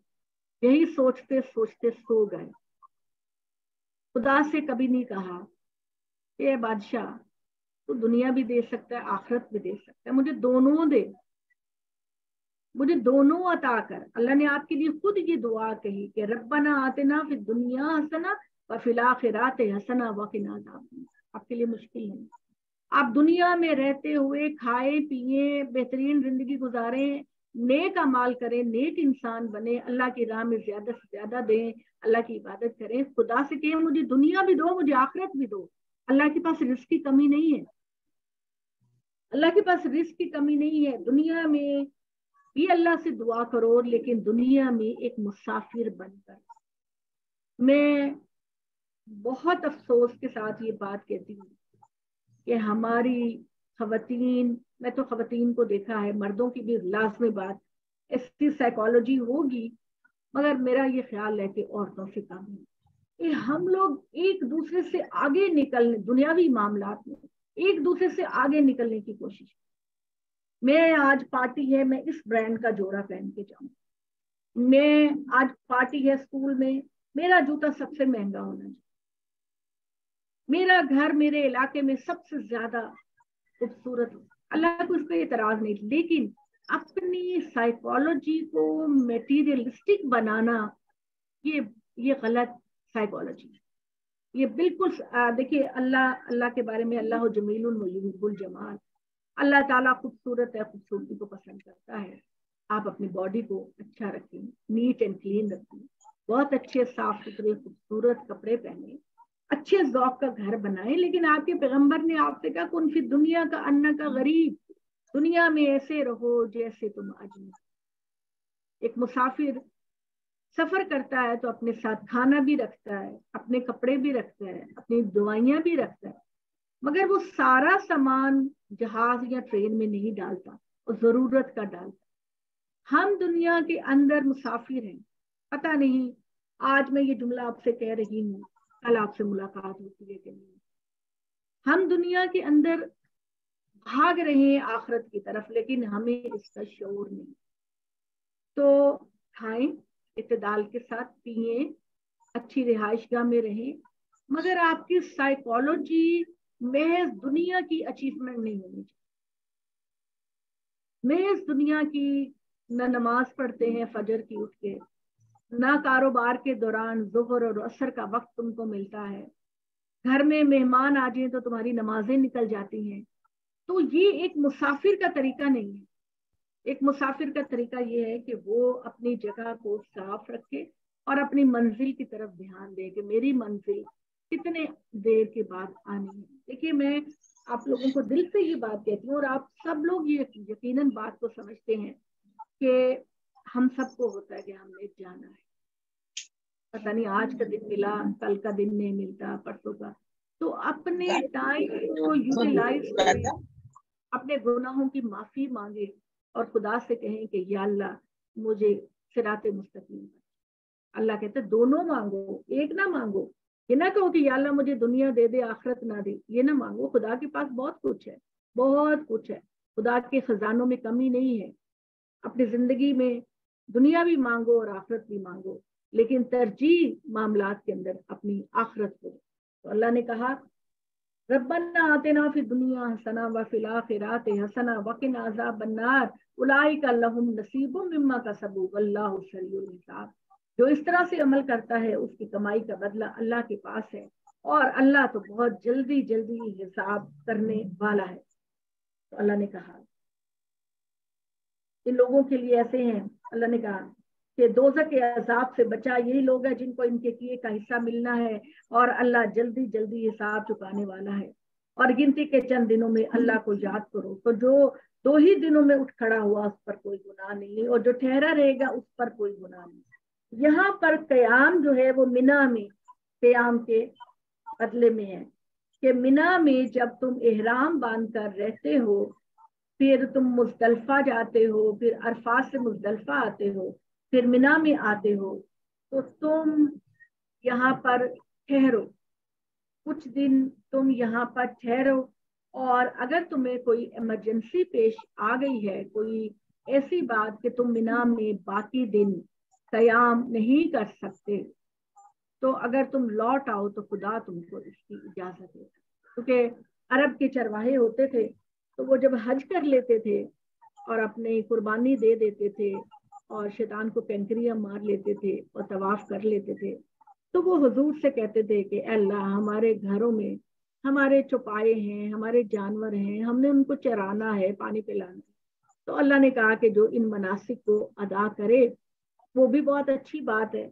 और जो अपने घरों में मक्का से वापस जाके शैतान को तीन दिन आपने कैंकरिया मारनी उसमें तो एक दिन आप मार के वापस आ जाए और बाकी दिनों में जाकर आप वहाँ पर शैतान को कैंकरिया मारे अल्लाह तुम्हारी इबादत को कबूल करे। तो अल्लाह ताला ने कहा कि जो दो दिनों में उठ खड़ा हो उस पर कोई गुनाह नहीं, जो ठहरा रहे उस पर भी कोई गुनाह नहीं। ठीक है? और ये रियायत इनके लिए है जो तकवा हासिल करे। अल्लाह से डरते रहो, खूब जानो कि तुम उसी के हजूर में इकट्ठे किए जाओ। अल्लाह के हजूर में इकट्ठे किए जाओ। और लोगों में कुछ ऐसे हैं जिनकी बातें तो इस दुनिया की ज़िंदगी में मुसलमानों तुम्हें बड़ी अच्छी लगती हैं और अपनी दिली नीयत पर खुदा को गवाह बनाते हैं, लेकिन वो कटर दुश्मन है। और जब वो तुम्हारे पास से हटते हैं तो उनकी सारी भाग दौड़ इसलिए होती है कि ज़मीन में फसाद पैदा करें, खेती और नस्ल को तबाह करें। अल्लाह फसाद पैदा करने वालों को पसंद नहीं करता। और जब इनसे कहा जाता है कि खुदा का खौफ करो, घुमंड इनको गुना पर आबादा करता है सो ऐसों के लिए जहनुम का अजाब है। और बहुत बुरा ठिकाना और लोगों, कुछ ऐसे हैं जो अल्लाह की रजा जोई के लिए अपने आप को वक्फ कर देते हैं। अल्लाह अपने बंदों पर इंतहाई मेहरबान। कुछ लोग हैं जो अल्लाह के दीन के लिए, अल्लाह के दीन को फैलाने के लिए अपनी ज़िंदगी वक्फ कर देते हैं। तो अल्लाह कहता है कि उनका ये नजराना अल्लाह कबूल करता है और इनके लिए बेहतरीन ठिकाना है। ईमान वालों, अल्लाह की अतात में पूरे पूरे दाखिल हो जाओ। शैतान के नक्शे कदम की पैरवी ना करो, वो तुम्हारा खुला दुश्मन है। और अगर तुम इन खुली तंबियात के बाद भी जो तुम्हारे पास आ चुकी हैं, फिसल जाओ तो जान रखो, अल्लाह गालिब कोई गलती हो जाए, कोई कोताही हो जाए, फ़ौरन कह दो, रब्बना जलम। फ़ौरन कह दो, खुदा तुम्हारे अमाल को नेक रजिस्टर में ही लिखेगा। तो अल्लाह ने कहा तुम इनको खुली खुली तंबियात के बाद भी जो तुम्हारे पास आ गए, याद रखो, अल्लाह गालिब और हिकमत वाला है। अब तो ये लोग सिर्फ़ इस बात के मुंतजर हैं कि अल्लाह नमोदार हो जाए बदरियों के साय में और इसके फरिश्ते और मामले का फैसला कर दिया जाए। यानी कुरैश, ये चाहते हैं, नबी पाक सल्लल्लाहु अलैहि वसल्लम से बड़े बड़े मौजदात का मुतालबा चाहते हैं। और वो चाहते हैं कि मौजदा इतनी हद तक हो कि अल्लाह इनको दिखाई देना लगे, देने लगे और बदलियों में फरिश्ते नज़र आ जाए और इनका फैसला खुदा अजाब नाजिल करके कर दे। तो अल्लाह ताला ने कहा, बनी बनी इसराइल से पूछो, हमने इनको कितनी खुली खुली निशानियाँ दी। कल परसों आपने यही पढ़ा, जो कि अल्लाह की नेमत को उसके पाने के बाद बदल डालेगा तो अल्लाह सख्त सजा देने वाला है। इन काफरों की निगाहों में दुनिया की ज़िंदगी खुबा दी गई है, ये अहले ईमान का मज़ाक उड़ा रहे हैं। हालाँकि जो लोग तकवा इख्तियार किए हैं, क्यामत वाले दिन वो इनसे बढ़कर होंगे और अल्लाह जिसको चाहता है बेहिसाब रोजी देता है। लोग एक ही उम्मत थे, यानी आदम की औलाद एक की थी। और उन्होंने इख्तलाफ किया तो अल्लाह ने अपने नबी भेजे जो खुशखबरी सुनाते थे, खबरदार करते थे। इनके साथ किताब भेजी गई, अल्लाह के फैसला हुक्म के साथ ताकि जिन लोगों को इख्तलाफ कर रही हैं, इसमें फैसला करें और इसमें इख्तलाफ नहीं किया। मगर इन्हीं लोगों ने जिनको ये दी गई थी और बाद इसके इनके पास खुली खुली हिदायत आ चुकी थी। महज जिद्दम जिद्दा के सबब बस अल्लाह ने अपनी तोफीक बख्शी। अहले ईमान को इस के मामले में रहनुमाई फरमाई, जिसमें लोगों ने इख्तलाफ किया, अल्लाह जिसको चाहता है, सिरात मुस्तकीम पर डाल देता है। और क्या तुमने इन ये गुमान कर रखा है कि तुम जन्नत में जाओगे? हालाँकि अभी तुम्हें इन हालात से सबका पेश नहीं आया, जिनसे तुम्हारे अगलों को पेश आया। इनको खुदा की तरफ़ से आफते मुसीबतें पहुँची। पहली कौमों के लोगों को आफतें और मुसीबतें पहुँची और वो कदर झंझोड़ेगी कि रसूल और इसके साथ ईमान लाने वाले पुकार उठते थे कि अल्लाह की मदद कब नमुदार हो। खुशखबरी खुशखबरी लो, अल्लाह की मदद तो करीब है तुम्हारे। हम थोड़े दिले हो जाते हैं, हम परेशान हो जाते हैं, लेकिन तुम ये याद रखो कि अल्लाह ताला की मदद बंदों के करीब होती है, बंदों से दूर नहीं होती। वो पूछते हैं, कितना माल खर्च करें? कह दो जो माल भी तुम खर्च करोगे। वो वालदेन मंदो, यतीमों मुश्किनों मुसाफिरों के लिए है और जो भी नेकी तुम करोगे, अल्लाह इसे अच्छी तरह बखबर है अकूर कौली हाजा मुस्लिमीन। तो जी, ये आज हमने पढ़ा अल्लाह के फजलो करम से। और अब हम कौन सी आयत पर हैं जी? टू ज़ीरो एट हमने कल पढ़नी टू ज़ीरो एट। इनशाला आपका कोई सवाल है तो पूछिए। मुझे कुर्बानी के उसमें थोड़ी कंफ्यूजन है कि मुझे जैसे आपने बोला तो क्या हम अच्छा एक सेकंड शादिया एक सेकंड वो पता है हमारी क्लास में ना वहाँ से भी ऑस्ट्रेलिया से लोग भी होते हैं तो उनका बिल्कुल इस वक्त इफ्तारी का टाइम है। मैं जरा दुआ करा लूँ क्योंकि वो दुआ के मुंतजर फिर उसके बाद हम सवाल कर लेंगे। तो ये वहाँ पे ऑस्ट्रेलिया में इस वक्त बिल्कुल इफ्तारी का टाइम है तो वो दुआ करवाना चाहते हैं। अल्लाहुम्मा सल्ली अला सय्यदना मुहम्मदिन व अला आलि मुहम्मदिन कमा सल्लैता अला इब्राहीम व अला आलि इब्राहीम इन्नका हमीदुम अल्लाहुम्मा बारिक अला मुहम्मदिन व अला आलि मुहम्मदिन कमा बारकता अला इब्राहीम व अला आलि इब्राहीम इन्नका हमीदुम रब्बना ज़लमना अनफुसना व इन लम तगफिर लना व तरहमना लनकूनन्ना मिनल खासिरीन रब्बना ला तुहम्मिलना मा ला ताक़ता लना अंत मौलाना फंसुरना अलल कौमिल काफिर। फंसुरना अलल कौमिल सालिम आमीन। कौमिल फातिह रब्बिर हम हुमा कमा रब्बाया अल्लाह हमने तेरे कलाम हमको या अल्लाह इस रोशन कलाम से हमारे सीनों को मुनव्वर कर। या अल्लाह हमें बेहतरीन बना। या अल्लाह हमें बेहतरीन इंसान बना। दुनिया वालों से भी मोहब्बत करें तेरी साथ से भी मोहब्बत करें। या अल्लाह हमारे कंधों पर आजमाइश के बोझ को हटा दे। या अल्लाह दुनिया की ज़िंदगी में हमें वो ज़िंदगी दे जिससे तू राज़ी हो।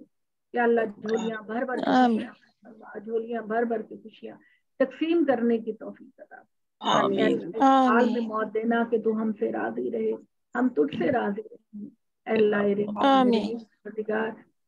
बीमारों को शफात फरमा बेरोजगारों को रिश्वत फरमा परेशान हाल लोगों की परेशानियों को दूर फरमा या अल्लाह जिनके औलाद नहीं ने, नेक साले औलाद अता फरमा और जिनके बच्चों की शादी नहीं बेहतरीन साथी अता फरमा।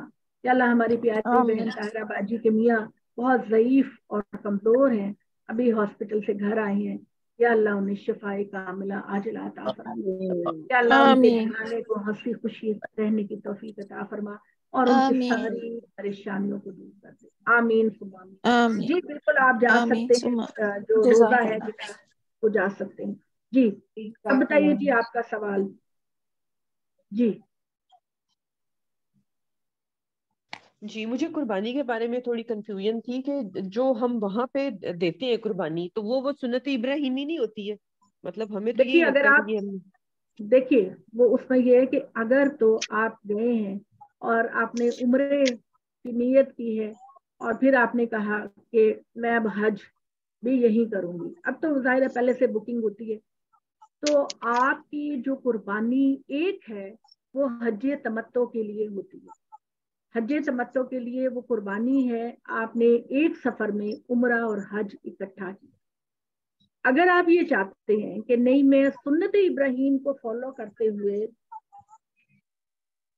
ये कुर्बानी देना चाहती हूँ। तो आप वहाँ दूसरी कुर्बानी का अरेंजमेंट आप करेंगी या पाकिस्तान में आप अपने घर वालों से कह देंगी कि मेरी तरफ़ से कुर्बानी कर तो वो हज तमत्तो का मतलब ही होता है वो हज जिससे आपने फ़ायदा उठाया।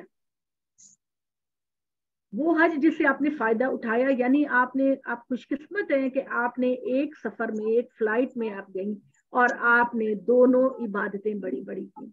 तो एक कुर्बानी अगर है ये लोगों को ब्रीफ नहीं किया जाता हालाँकि उनको ब्रीफ करना चाहिए।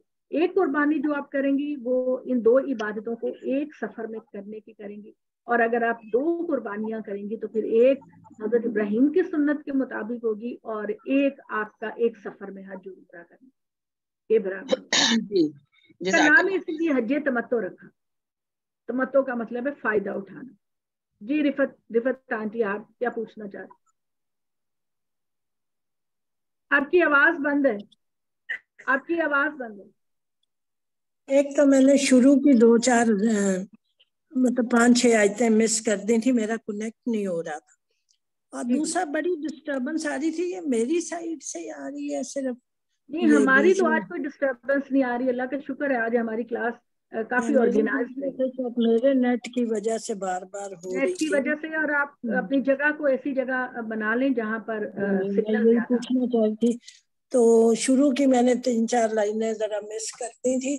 आयते और दूसरा मैंने बताना था माशाल्लाह औरंगज़ेब के सारे टेस्ट ठीक है माशाल्लाह बहुत मैं ज़रूर आपके शेयर करूँ आप इतनी दुआ मुबारक हो और रिफत आंटी बस अब आपने बिल्कुल रिलैक्स हो जाना है। अब आपने सारी मुझे अपनी दुआओं में बड़ा याद अल्लाह सब अल्लाह का शुक्र अल्हम्दुलिल्लाह जी के बेटे के बारे में डॉक्टर ने अजीब से शक में डाला था। अल्लाह का शुक्र है उनकी रिपोर्टें ठीक आई। अल्लाह मियाँ सब के बच्चों को उनकी आँखों की ठंडक दिल का सहारा बना दे। आमीन।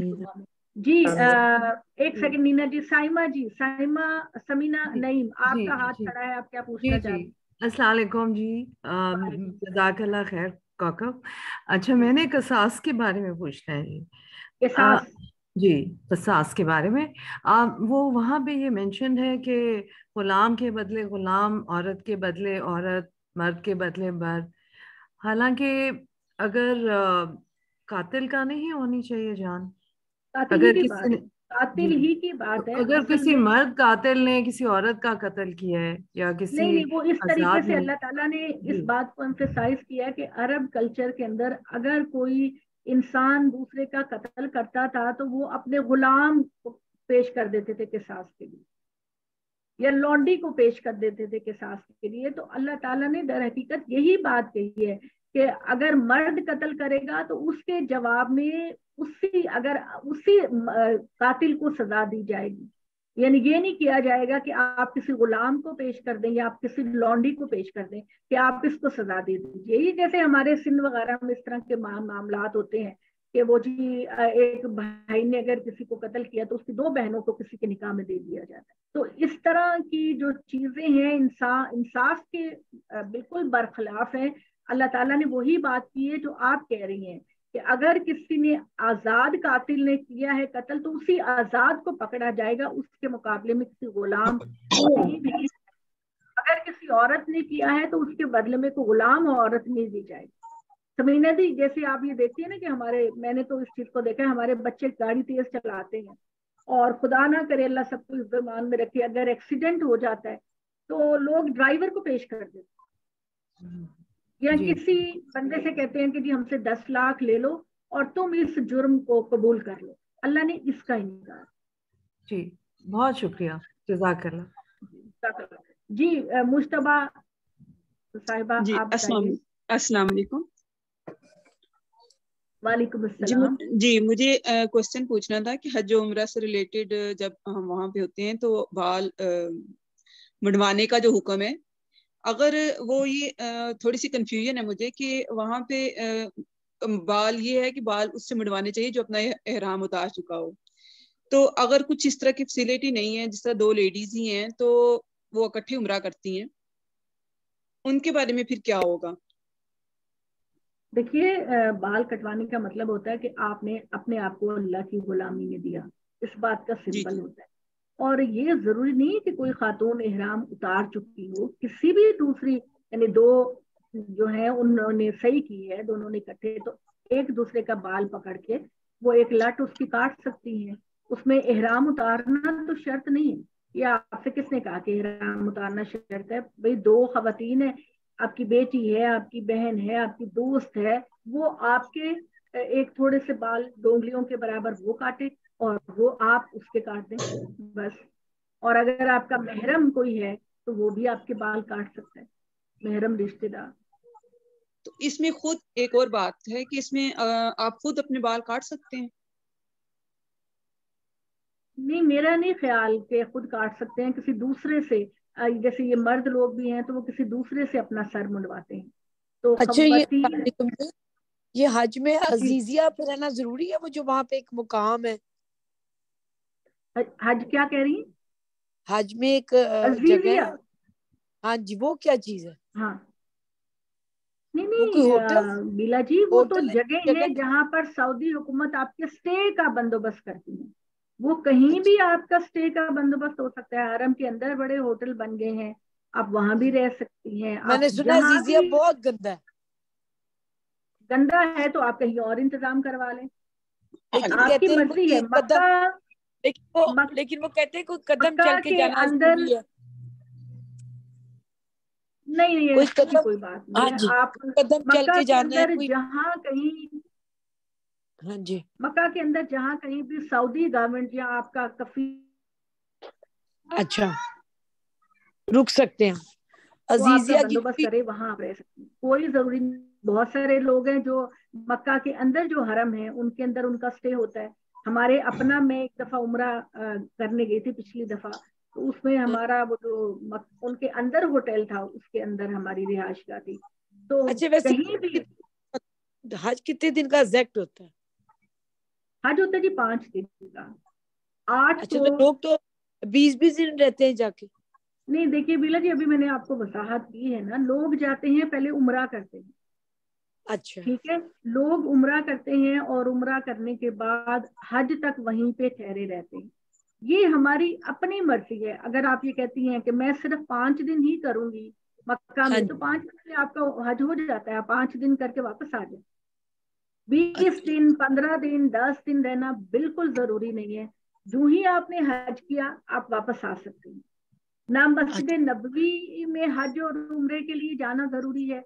और ना ही दिनों की गिनती है पाँच दिन के नाम अच्छा बाज बाज लोग जैसे रमज़ान है उम्रे पे जाते हैं और उम्रे पे छह दिन की बड़ी मुशक्कत होती है रोज़े में उम्र रखना और करना। तो उसके बाद मदीना जाना ज़रूरी है कि वो आपकी खुशी है अपनी? बिला जी मदीना जाना बिल्कुल ज़रूरी नहीं है। बिल्कुल हज और उम्र में मदीने जाना ज़रूरी नहीं है।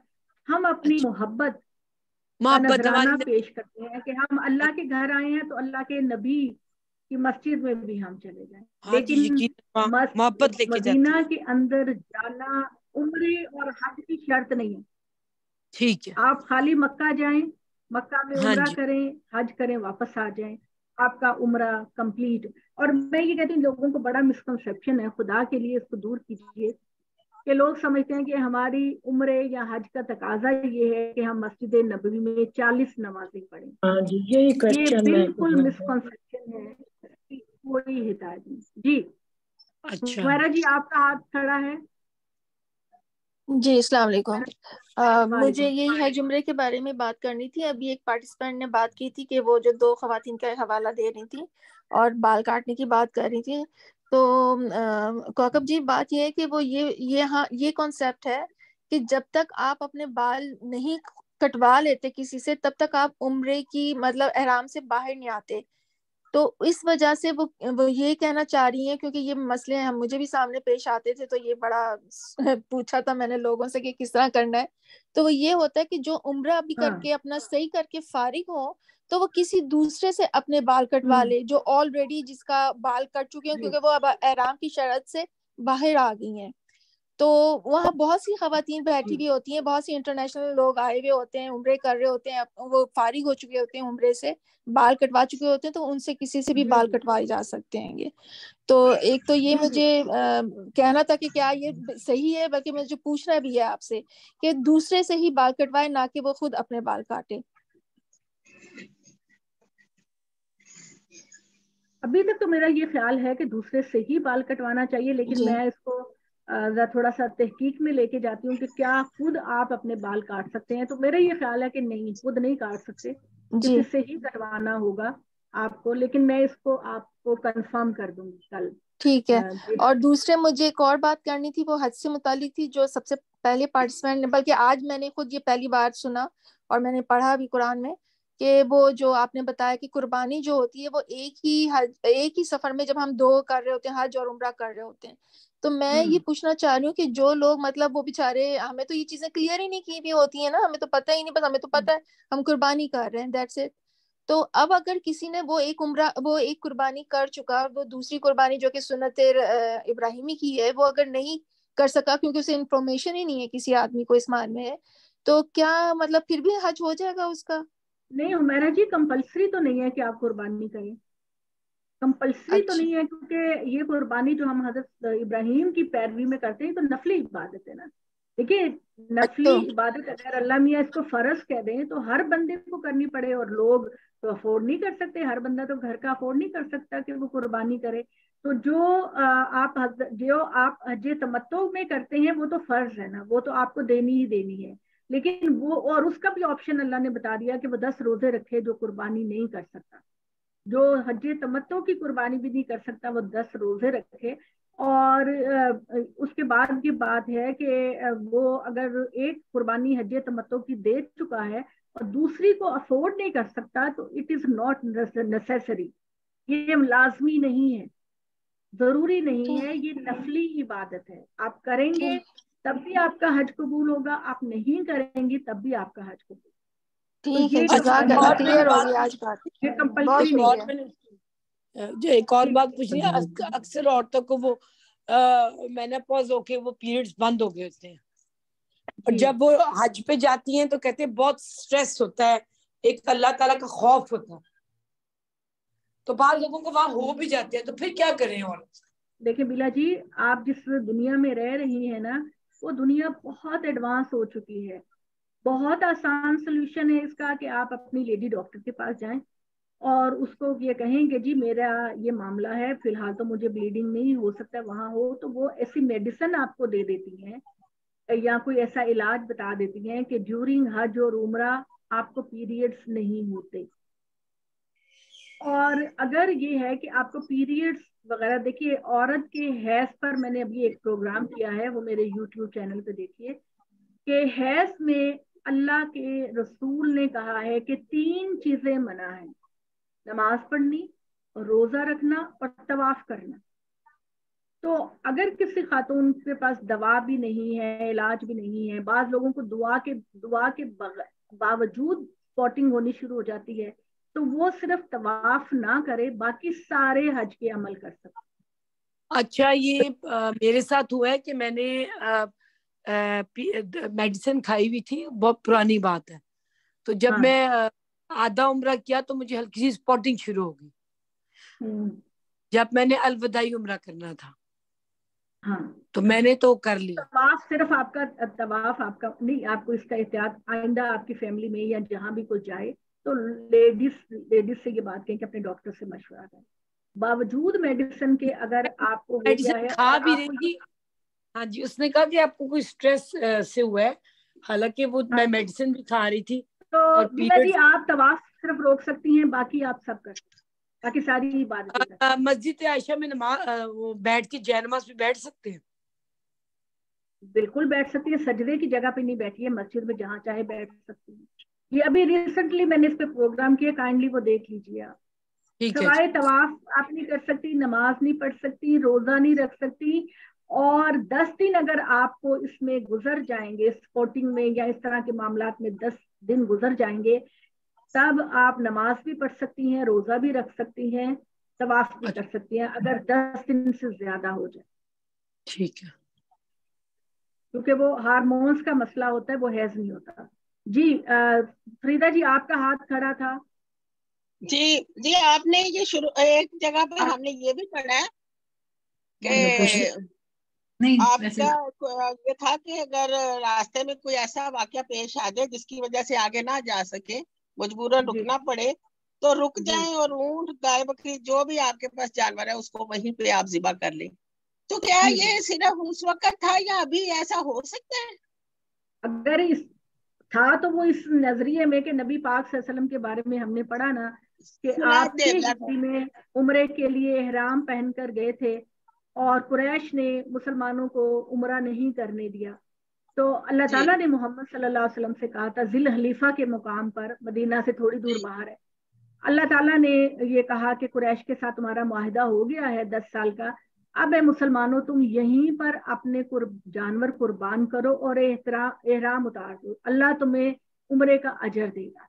तो हमें वो ये वाक्य हुआ था जिसके मतलब ये आयत नाजिल हुई। इस दौर में आम तौर पर तो ये मसाइल पेश नहीं आते लेकिन अगर मसला पेश आ गया कि सफ़र के दौरान आपका जानवर भी है और आप नहीं कर पा रही तो जो ही आप सफ़र में जाएँगी और वहाँ तक नहीं पहुँच सकेंगी तो आपकी नीयत का अजर आपको मिल जाएगा। ठीक है। ठीक है बंदा है मिसाल के तौर पर मैं आपसे कहती हूँ अल्लाह कितना रहमान और रहीम है। एक बंदा है उसकी नीयत थी कि मैं हज करूँ। तो उस साल उसकी वफात हो जाती है या कोई और मसला हो जाता है। तो क्या ख्याल है कि वो जो अपना सामान बाँध के रखा था उसका खुदा उसको अजर नहीं देगा? तो अजर तो जो है नियतों का होता है। तो ये आज भी अगर ये सूरत हाल पेश आएगी तो आप आज भी वही करेंगे। जी जी शुक्रिया। काफ़ी बड़ा ये मसला था मेरे जहन में। जी। ठीक है जी इंशाल्लाह ताला फिर अल्लाह ने चाहा से आज हम हमारे दो सपारे हो गए हैं फरीदा जी? जी थोड़ा सा रहता है बिल्कुल। दो दो तीन सफे रहते हैं बस। चले इनशाला जी अल्लाह आपको भी सलामत रखे मुझे भी सलामत रखे। इनशाला कल हमारी बात। अल्लाह अल्लाह। अल्लाह अस्सलाम वालेकुम व रहमतुल्लाहि व बरकातहू जजाक अल्लाह फातिमा जजाक अल्लाह अल्लाह आपको खुश हो हाँ व रहमतुल्लाहि व बरकातहू जजाक अल्लाह ईमान अल्लाह जजाक अल्लाह खैर से रहें खैर से रहें